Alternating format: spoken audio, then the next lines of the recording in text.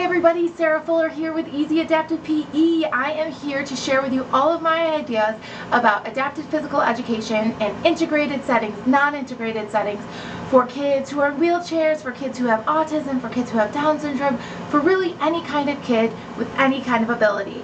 If there is a video that you are just dying to see, please leave a comment below and I'll be sure to crank that one out as fast as I can. So I'm going to work with you and you guys are going to work with me. Leave comments, ask questions. Let's build a community among adaptive PE teachers so that we can be better and learn more. Alright, I hope you enjoy these videos. Again, leave a comment, subscribe, like, all the things, and I hope you enjoy these videos.